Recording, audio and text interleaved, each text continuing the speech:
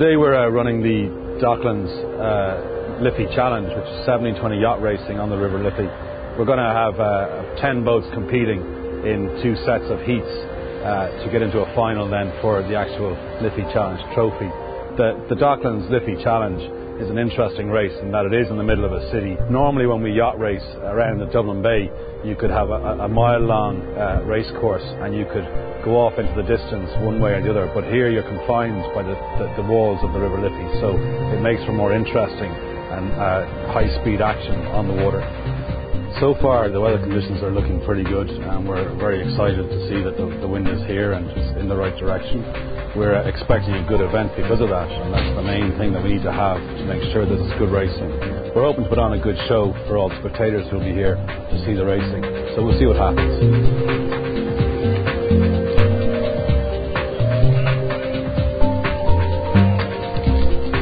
I've been here about three years in a row, and uh, about every year it's lovely weather. It's a lovely place to be. It's right in the heart of the city, and uh, I know a lot of people who actually sail on the boat, so I do come back just to see them race, and hopefully there'll be a bit of uh, drama at the marks and a lot of boats, you know, hoisting their sails very quickly all together at one time. So it's nice to see that, see all the boats in action, and uh, it's very exciting to watch. We're sponsoring uh, our own boat, Cook's Academy, and uh, that's the boat that I'll be up for today. So hopefully they'll win.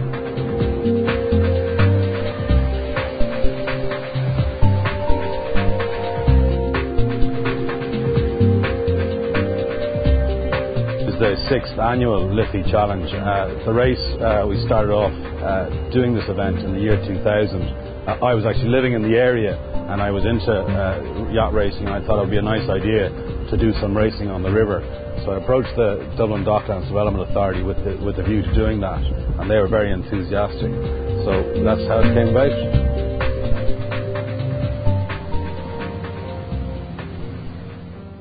Dublin Docklands Development Authority was set up in 1997 to continue the regeneration of the Docklands area. So, you know, a lot of what you'll see here standing on the river, you can see a lot of the development obviously along the north side of the river from the IFSC down to the North Lots. But also a major part of that is all about regenerating the public domain and also river regeneration. So in the public domain we've spent, um, invested quite a lot in things like uh, landscaping the quaysides so that you can now walk from the whole way from here at our offices all the way down to the Point Depot and eventually we'll have two kilometres of public parkway all around the riverside. Dublin has traditionally turned its back on the river and what we want people to do is to turn around and start looking back at the river. So, you know, we have a lot of initiatives in place. Um, we have events like today, the Liffey Challenge, so that um, you know, it, it, creates a bit of life and activity here and that, you know, people, there's something to watch. People love watching sailing. So this is, a, you know, it's an opportunity for people to come down and enjoy the river. One of the things that this, this event does is actually lets spectators get up close and personal with the actual yacht racing. I mean, literally, some of the boats might be a foot or two away from the actual quay walls where some people will be, will be actually watching the racing and could nearly touch the boats. This is very unusual for yacht racing because, as I say, it's, it's out in the, the middle of the ocean sometimes where no one can see it and no one can see what's going on. But here it's very obvious who's in the lead and who's not in the lead, so it's very easy to understand.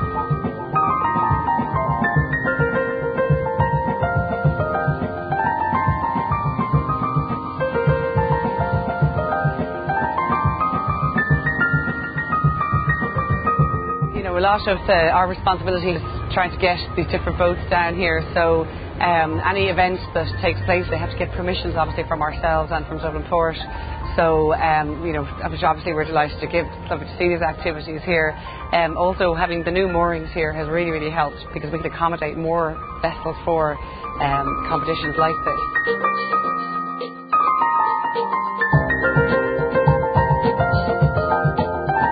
The boats we're uh, racing today are called 1720 uh, yachts. They're actually uh, about 10 years old in design and they originated in Cork. Uh, they're a very uh, stripped out type of racing yacht as opposed to, say, some of the cruisers that you might see. So their whole uh, idea behind the boats is to make them as fast as possible. They're about 26 foot in length, but they probably are equivalent in power to a 35 foot racing yacht. It's just ideal for this type of racing because they're very easy to, to maneuver, they're quick on the breeze, off the breeze, and they just they like all kinds of conditions. It depends really on the uh, wind speed, what kind of speed you might get out of the boat. But these boats have been known to do up to 25 knots, which is quite substantial when you think, you know, it's a ton and a half of, of a racing machine going at that speed, and there are no brakes. They'll take up to about five people to actually sail the boat, but they're quite handleable with maybe four or three crew even. And every person is uh, important to the running of the race. There's all kinds of jobs that need to be done from driving the boat to actually trimming the sails, pulling sails up, pulling them down, depending on what leg of the race course you're on. It's important to have very good trimmers so that people actually uh, pulling the sails and making them, you know, work properly so in this race, especially where the wind can go up and down, and we have a lot of uh, wind shifts with the uh, buildings around us, so the trimmers are, are, vitally important, and their feedback to the driver is absolutely uh, invaluable.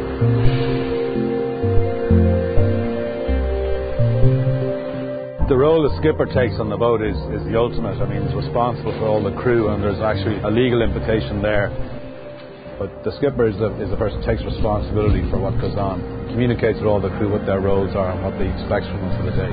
So it's a crucial role really on the boat. You really have to have a crew that know what they're doing and they have to gel well together, work as a team really.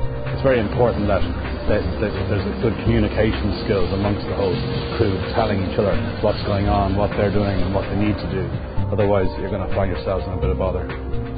I'm what's called the uh, Principal Race Officer or PRO. Um, my job is uh, to run the races. In the final round, we have a repechage and a final. So I decide on the length of the course, and that's, that's dependent on wind and how much time we have. Uh, and we, we do that by adjusting the, the, the, distance between the two marks we race around. And then I, I'm responsible for firing off the sequence of guns and flags that signal to the guys that a race is coming. Uh, remember, on a boat there are no there are no brakes. Um, the only accelerator is the wind and sails. So we have, we have a countdown system. So there's a line, an imaginary line across the river. I fire a gun, or a hooter as it is in this case, and I raise a flag which signals to the boats that in five minutes' time they're allowed to begin the race.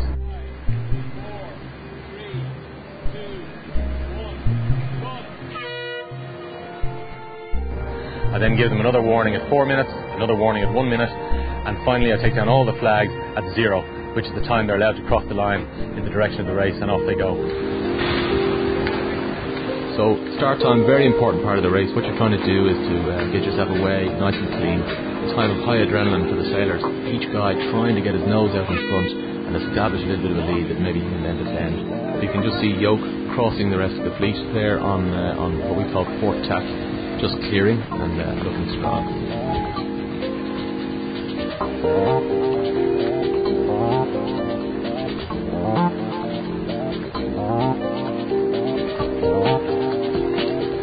Competition consists of two flights uh, with five boats in each flight. There are three races also for each flight. The three boats with the best aggregate result from each flight go through to the final. The bottom two in each flight compete in a repechage.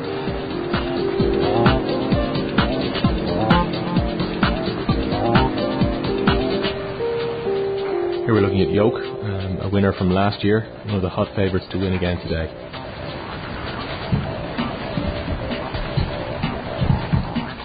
Here's the unusually named Two Fried Eggs, one of the newer boats in the fleet this year, owned and helmed by Liam Shanahan.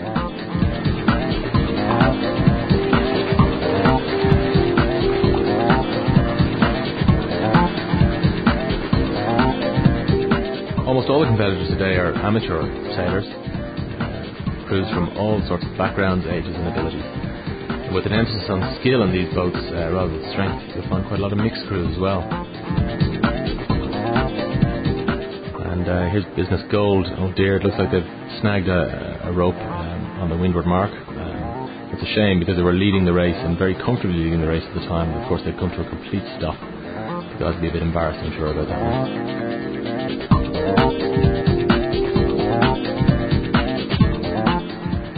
Racing like this on the, on the Liffey is a real challenge for sailors. The racecourse is very narrow, two walls, one down each side. Uh, there's nowhere to go uh, once you reach the wall. Uh, we, we, don't like guys to hit the wall, obviously, so we put a great emphasis on safety.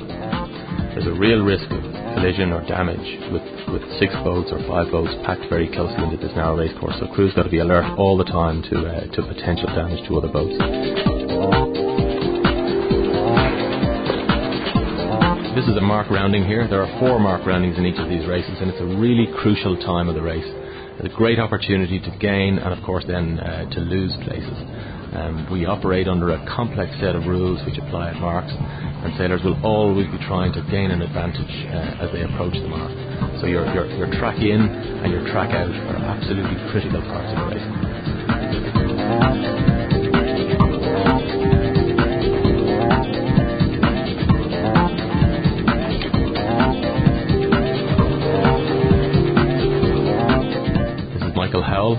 Crew on board uh, Y2K.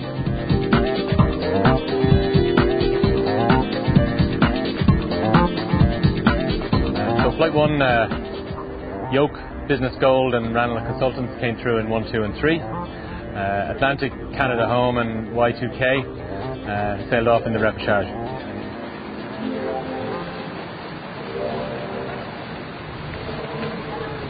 All of the boats uh, sailing on the Liffey today are, are based in the Dublin region. Uh, the Southside boats come from Dun Laoghaire, the National Yacht Club, the Royal St George Yacht Club, and the Royal Irish Yacht Club, where the Northside boats all come from Howth. A 1720 yacht can cost you anywhere from 8,000 euro to 30,000 euro, depending on its age and condition. Uh, quite a few of the boats would be owned by uh, a bunch of guys together, two, three, and even up to five uh, owners would all contribute. A number of the boats, as you can see, Key Events, Prem Group, Ranelagh Consultants, Cook's Academy, Business Gold, they're all sponsored by local businesses. Um, it's, it's a great way to offset costs, and it's a very impressive billboard for, uh, for your sponsor also. Here we're looking at Prem Group, uh, owned by Peter Redden, pushing hard today, and it's being driven or helmed, as we call it in the business, by uh, uh, by Peter's son Simon. Uh, looks like a bunch of his friends that he's brought along to crew.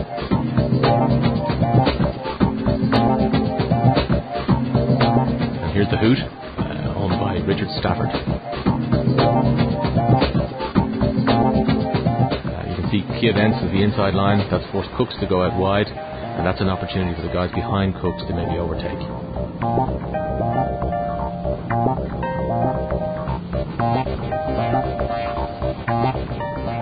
The 1720 is, a, is what we call a one design um, class. All the boats are the same. There's no opportunity within the rules to uh, to optimise the boat uh, or any of its fittings. That makes it more economical for the sailors, but it also makes it a truer test of uh, crew's ability.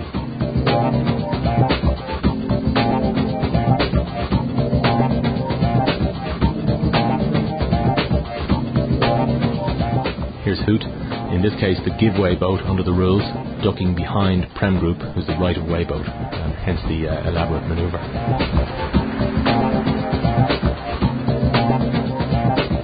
Looking at key events here, being uh, helmed by Cathy MacAleavey, who represented Ireland in the 1988 uh, Olympic Games in Seoul. She's got her son crewing for her today too. Here's two fried eggs rounding the mark in the lead, um, followed by Prem Group hoisting their spinnaker. Nice hoist there, right on the mark. Excellent stuff.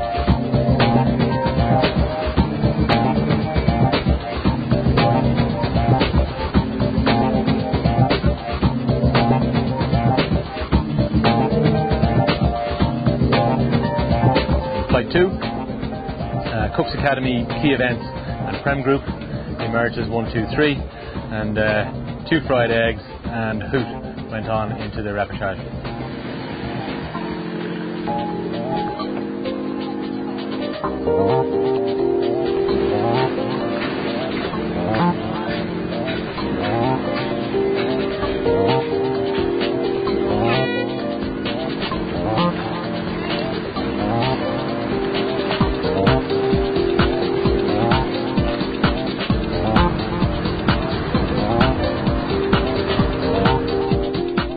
See, some of the boats have pretty interesting names. Uh, anybody's guess where, where, where they've arrived from. Two Fried Eggs is reputed to have originated over a breakfast table argument.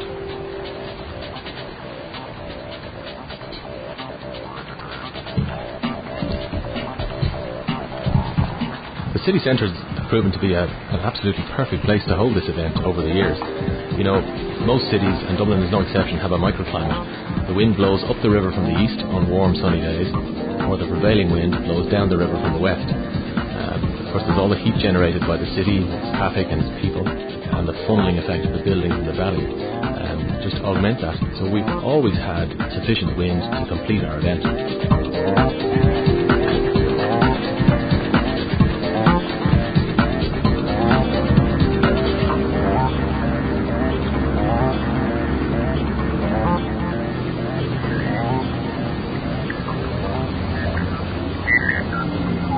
This is the start of the final, and uh, the, the, usual pre-start manoeuvres taking place here now as, as each both jockeys for the best position um, to give them maximum leverage off the start line. But this is a really tense time for those guys now uh, as they as they prepare for the for the final start of the day. A lot of adrenaline pumping right now. There's Dan O'Neill and Davy Ryan on Business Gold, which I believe they borrowed for the day. Nick is, uh, is driving the boat for them. Nick is currently in training to break the record for solo sailing around Ireland, which he hopes to do next month.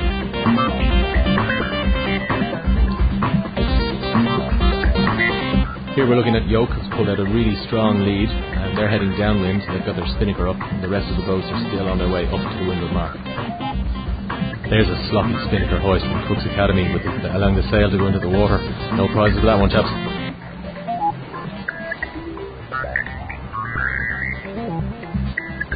Sailing is kind of an unusual sport in, that it's, it's, it's, it's, the marriage of the man and his machine uh, battling the elements or, or, trying to get the better of the elements, and then throw in other boats trying to do the same thing, and you've got competitive racing.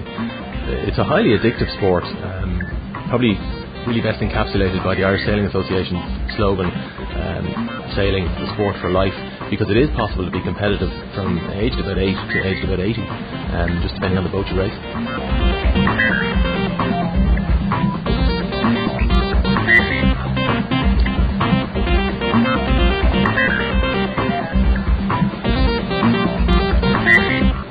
Sailing's had a reputation as a sport that's difficult to get involved in, but really that's very far from the truth. Um, most of the boats, like the 1720s or other big boats, need lots and lots of people to crew on them. So owners of boats are always uh, looking for people to help them out.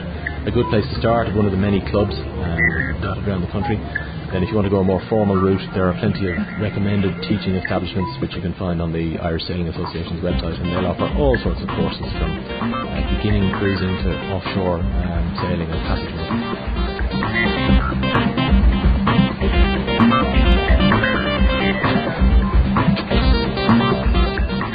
And here we are on the last leg of the final. Yoke in the lead, followed in second place by Cook's Academy. There'll be no happy campers on the Cooks Academy tonight after being pipped to the post by Yoke, especially having had the lead in the bag at one stage.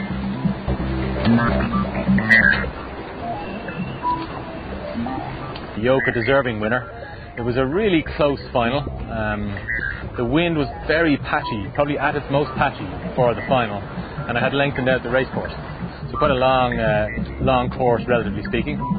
Yoke uh, established a nice lead on the first leg, and was well, well ahead on the second leg and ran out of wind. And was caught, rolled, and was at one stage back into fourth place of the six boats.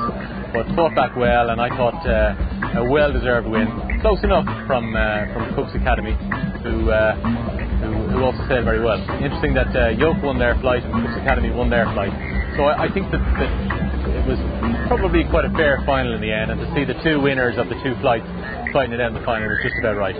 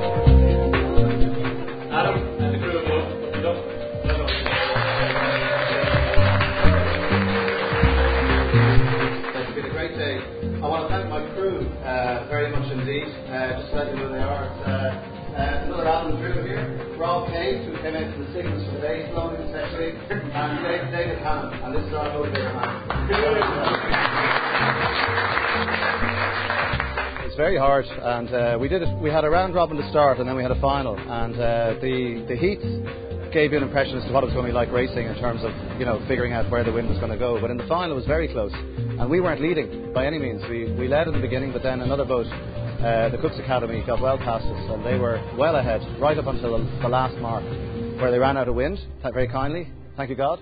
And uh, we managed to get just inside them and literally beat them over the line by just the front end of the boat. So very, very close racing.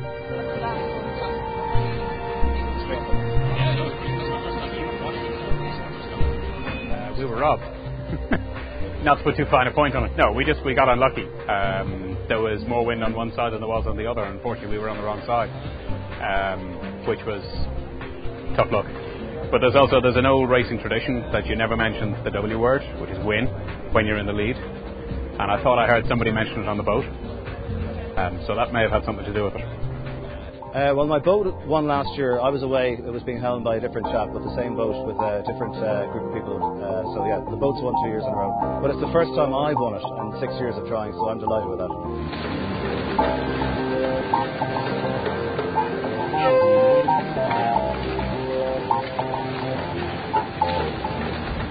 You know, I was kind of thinking of selling my boat at some stage, but I won't be doing that now. I'm coming back next year. I want that trophy.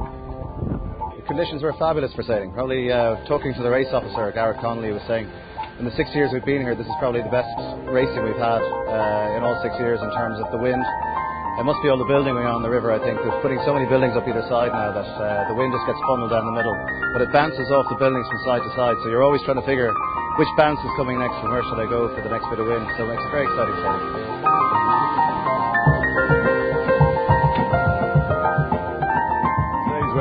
Uh, interesting in that the wind would speed was up and down quite a lot. So, you know, you, you were going along lovely for one minute and then the wind would die. So you really had to be on your toes uh, when you're actually sailing the boat. If you took your eye off the ball for one minute, you could be out the back door, no problem. Um, but, you know, that's the way it goes and we enjoy it no matter what.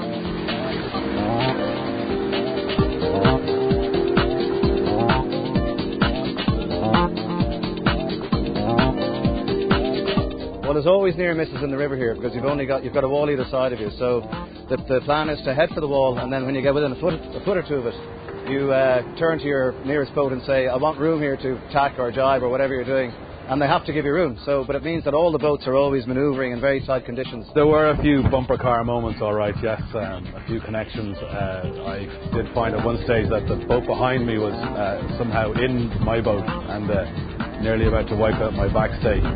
Following that, we actually then bumped another boat in front of us.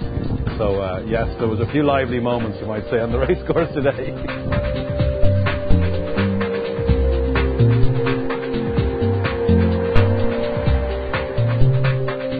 This is the first time I came down to watch the Liffey Challenge. A couple of friends of mine told me about it, and they, they sail. So I mean, I've, I've kind of had a, a, sort of sometime interest in it for a few years. So this is the first time I, I actually got to see it in action in Dublin.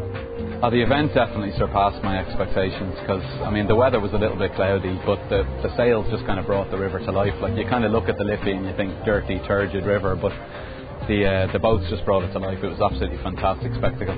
This is the sixth year now, um, and I've done all six. Uh, this has been the most fun to to watch.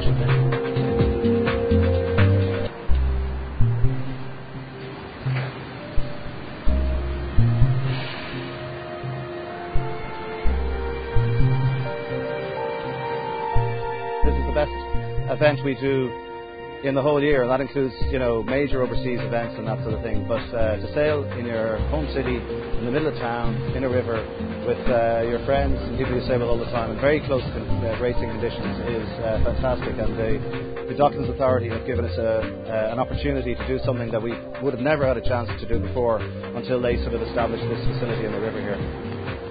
So it's really made for a great event each year.